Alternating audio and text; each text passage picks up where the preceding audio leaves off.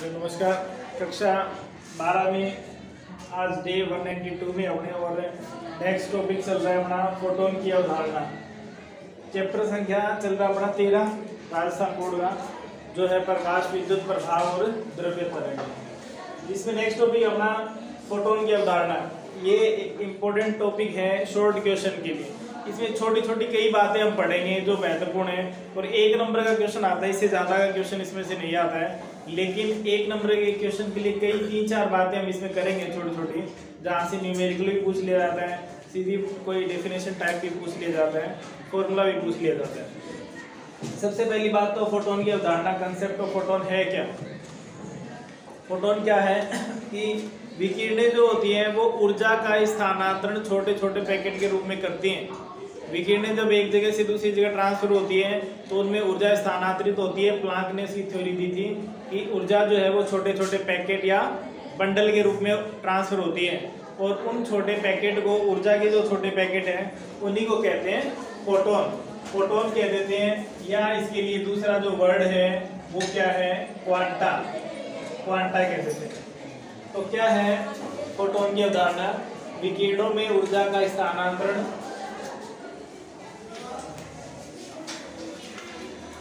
विकिरणों में ऊर्जा का स्थानांतरण।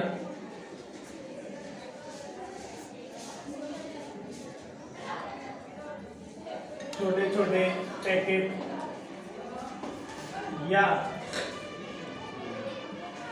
बंडलों के रूप में होता है, जिन्हें फोटोन कहते हैं।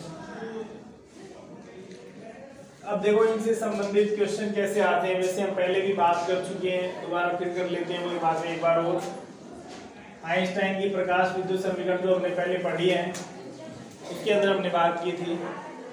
इज़ इक्वल टू क्या होता है? एच न्यू तो एक बात तो ये ध्यान रखिए फोटोन की जो ऊर्जा है, वो हमेशा किस पे निर्भर करती है? आवर्ती पे। एच क्या प्लांक कांस्टेंट है? 6.62 into ten s to power minus thirty four joule second को इसकी वैल्यू रहती है। तो कॉन्स्टेंट की वैल्यू हमें पता हो, वो एग्ज़ाम में दी दी भी जाती है कभी कभार वरना नहीं भी दी जाए। कोई ज़रूरी नहीं है ये कि दिया ही जाए।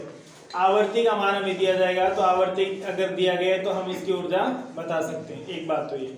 दूसरी बात, फोटोन की जो ऊर्जा है, वो ध्यान रखें, हमेशा आवर्ती पर निर्भर करती है। आवर्ती पर निर्भर करती है। तरंग धेरे पर निर्भर नहीं करती।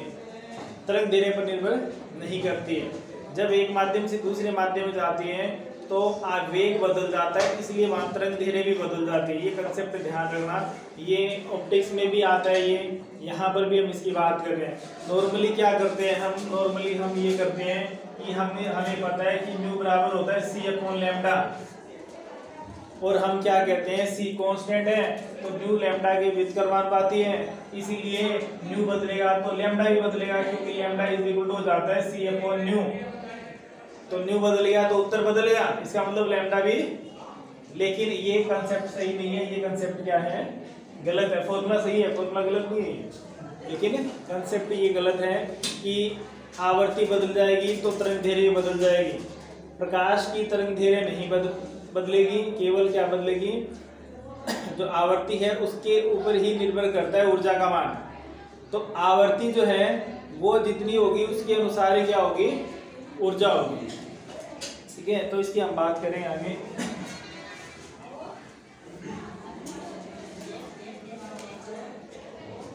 अब इसको सोल्व करते हैं आगे।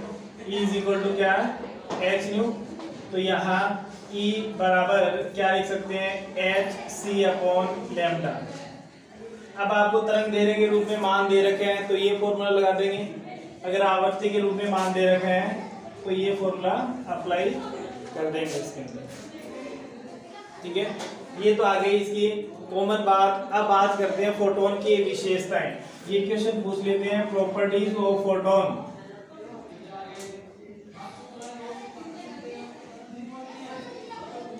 फोटोन के गुण क्या क्या विशेषताएँ हैं? सबसे पहली बात तो फोटोन का जो वेग है, वो प्रकाश के वेग के बराबर होता है। फोटोन किस वेग से गति करता है? प्रकाश के वेग से गति करता है। ठीक है? निर्वात में जो इसका वेग है, वो प्रकाश के वेग के बराबर होता है। तो फोटोन का वेग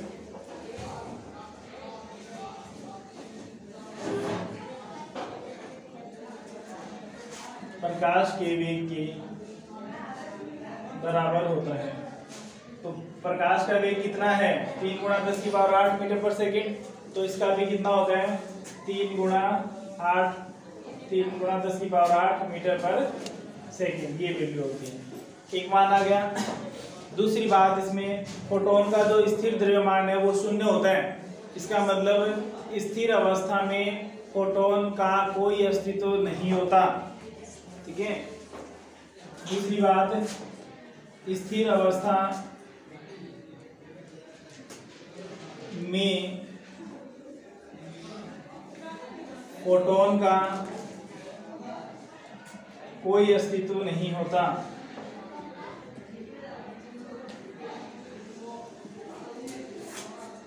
क्योंकि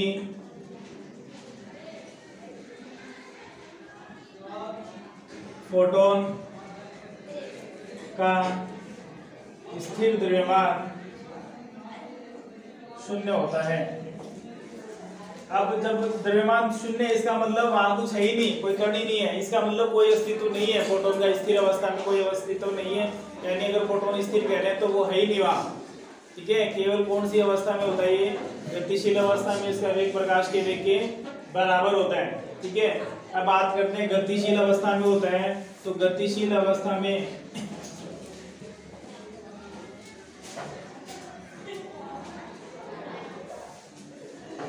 कण का द्रव्यमान क्या होगा? वो वेग पर निर्भर करेगा। तो क्या होगा?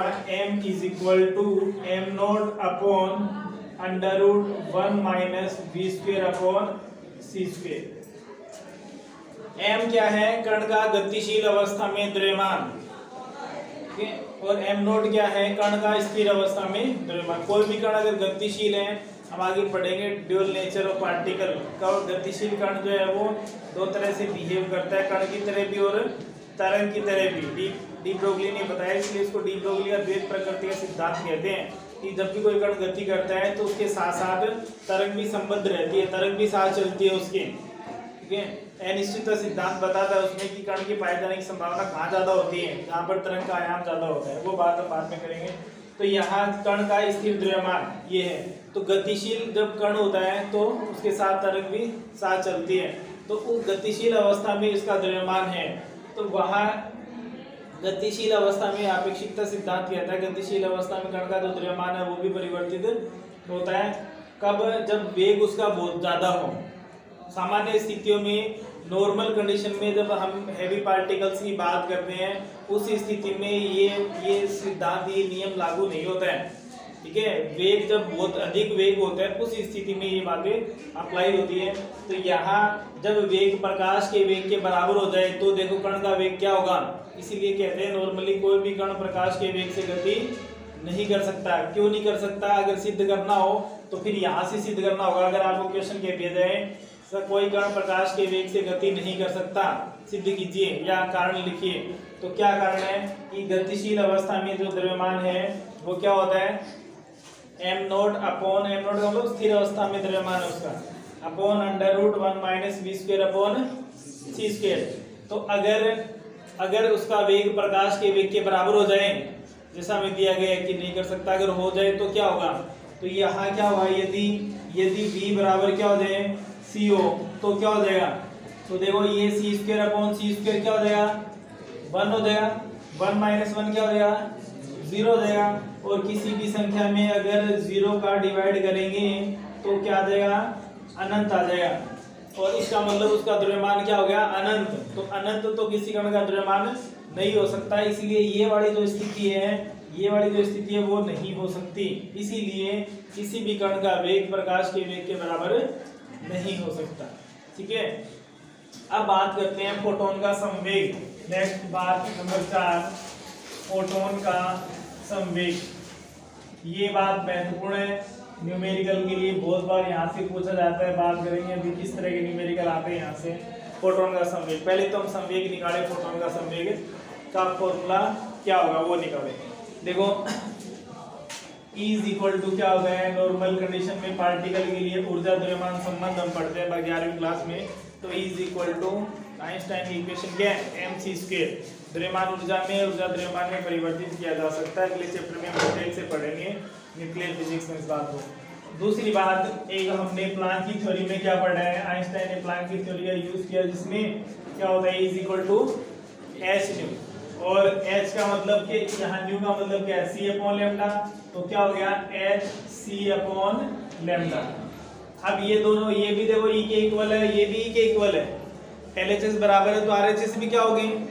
कण की ऊर्जा तो चाहे कण के रूप में व्यक्त कर ले, चाहे तरंग के रूप में व्यक्त कर ले, ऊर्जा तो उतनी रहेगी। व्यक्त करने का तरीका दोनों अलग अलग है। एक में तरंग के रूप में बात कर रहे हैं तो न्यू यूज़ कर रहे हैं, और एक में कण के रूप में बात कर रहे हैं तो द्रव्यमान एम यूज़ कर रहे हैं। तो यहाँ से बराबर पुट कर दें दोनों को तो M C square is equal to क्या हो जाएगा?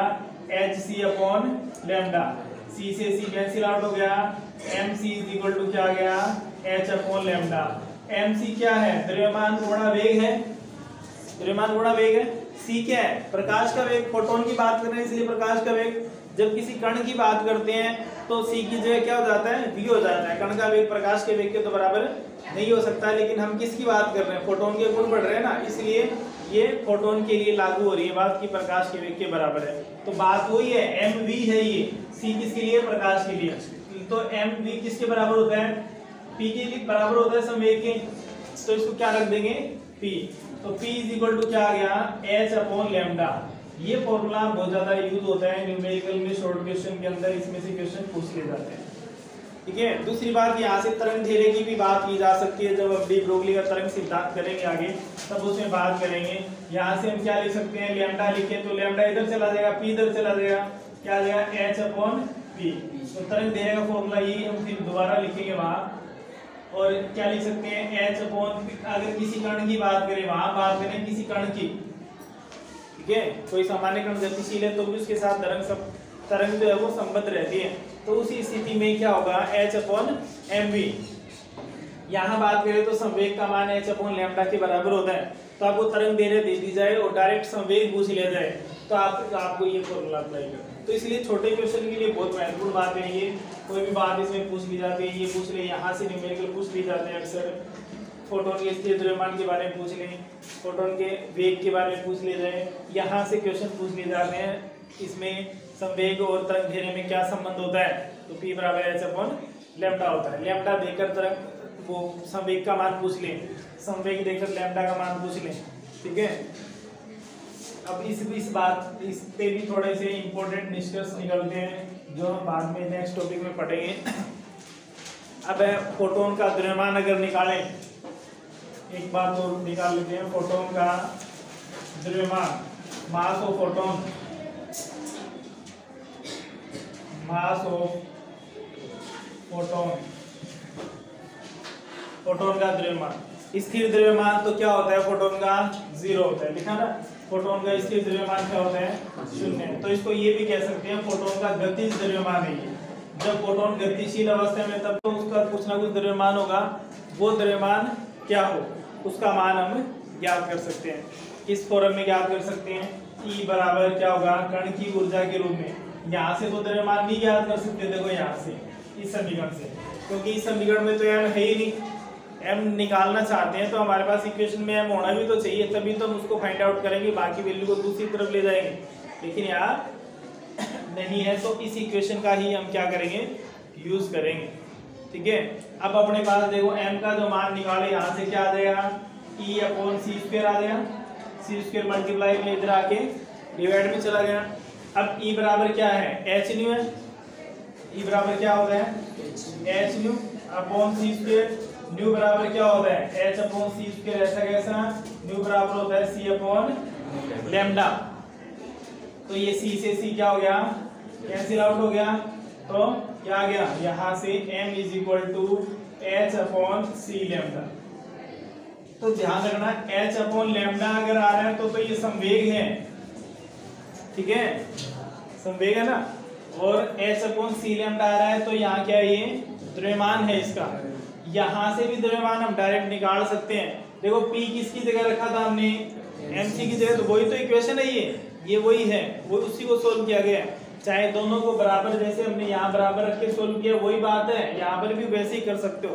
दोबारा ये काम न करके ऐसा ऐसा कर लो, चाहे यही कैलकुलेशन है। या एम सी में क्या होगा, देखो यहाँ से, यही तो स्टेप है, ये वाला। ये और ये स्टेप दोनों सेम है, देखो। क्या होगा एम निकालना तो सी इधर आगे डिवाइड में चला जाएगा। तो इस तरह से इसको सोल्व किया जा सकता है।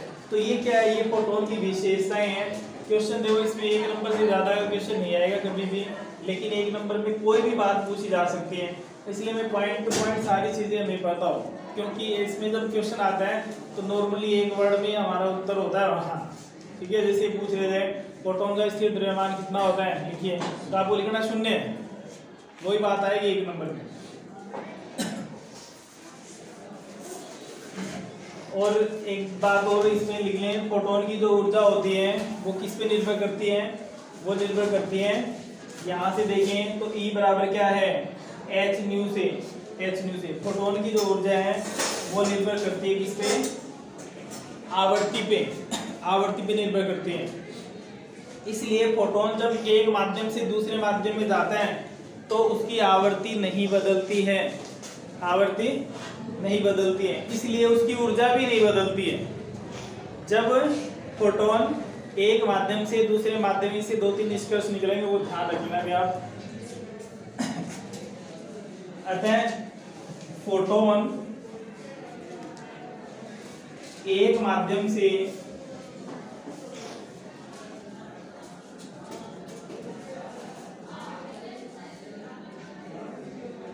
दूसरे माध्यम में जाता है, तब उसकी आवृत्ति अपरिवर्तित रहती है।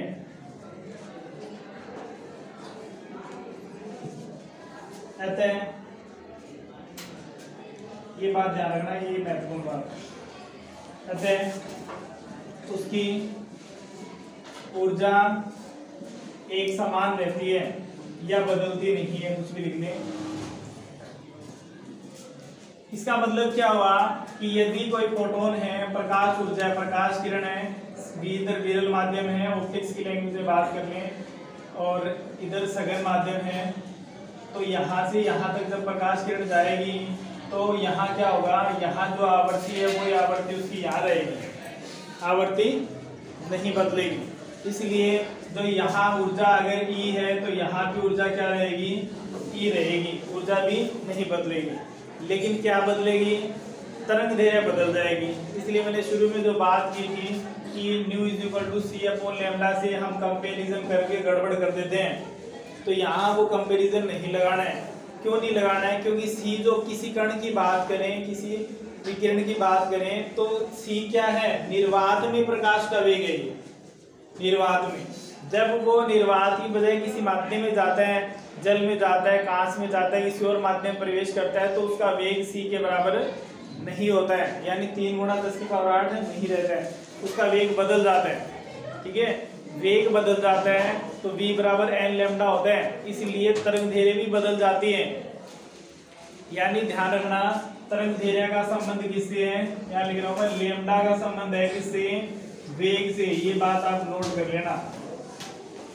लेमडा का संबंध किससे है? वेग से। और जब माध्यम बदलता है तो तरंग का वेग बदलता है। वेग बदलने की वजह से उसकी तरंग धैर्य बदलती है। ठीक है? आवर्ती भी बदलती है। ठीक है? तरंग धीरे बदलती है। तो यहाँ ये बात लिख लिया आप कि माध्यम परिवर्तित होने पर, माध्यम परिवर्तित होने पर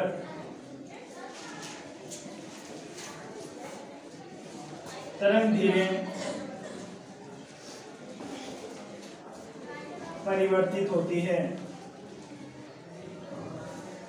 तो ये इतनी बातें हैं जो सामान्य आप इनको ध्यान रखोगे तो इस टॉपिक में कोई गलती नहीं होगी। इसको पढ़ ले आप। बाकी बातें हम नेक्स्ट 193 में करेंगे आगे की बात, जिसमें हम द्रव्य तरंगों के बारे में पढ़ेंगे और उसमें बात करेंगे डी ब्रोगली की परिकल्पना। परिकल्पना का मतलब है डी ब्रोगली ने क्या सिद्धांत दिया था? क्या बात कही थी? तरंगों के बारे में वैसे हमने इसमें कर ली कि कोई कण गति करता है तो तरंग संबंध रहती है। उसी की बात हम दोबारा करेंगे। यहाँ से कुछ निष्कर्ष निकालेंगे उस समय। तो आप इसको रिवाइज कर लें फिर हम नेक्स्ट क्लास में करेंगे।